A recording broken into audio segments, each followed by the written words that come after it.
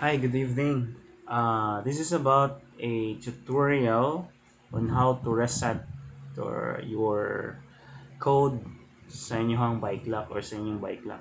So first, we'll open it first para makita ninyo kung paano. Ah, let's cut it. This one. So, tang- tanggalin yung plastic. So, pag bago pa siya, pag bago pa siya, ah, ang code natin dito or factory code ba ang tawag doon? Ah, nasa zero lahat. Okay 000 so makita niyo dyan. So mayroon yung ano parang ito yung bukol niya. So dapat align align dyan para matanggal ang or mat, ma, ma-remove ang nakalock.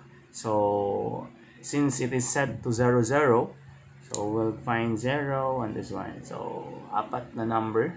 So, 4 zeros. So, yun. Tanggal siya. Okay. Now, how to reset this one?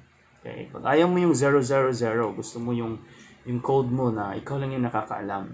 Okay. So, uh, what we will do, kita nyo to, itong dulo, pwede itong ma-turn.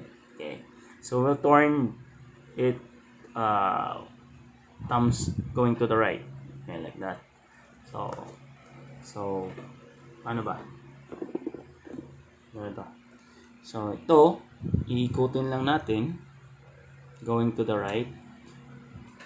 Set.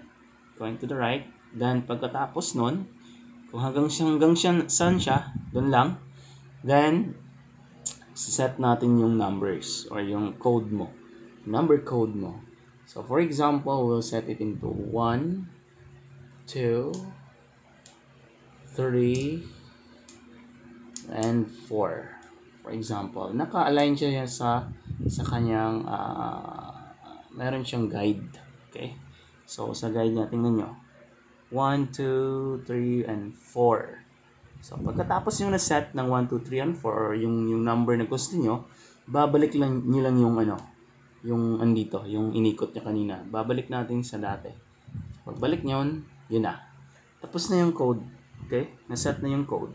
So, pag huwag niyo kalimutan yung naset dito kasi yun na yung code nyo. Pag kinalimutan nyo yun, hindi na yan talaga, hindi na talaga yan mabubuksan. Okay? So, ipapasok natin ulit. Yan, pasok siya. So, ang code niya is 1, 2, 3, 4 pa rin. So, scramble natin. Yan, hindi na siya matatanggal. Okay? So, again, babalik natin. Ayusin natin. 1, 2, ah, where's 3? 3 and 4. Set na? 1, 2, 3, and 4.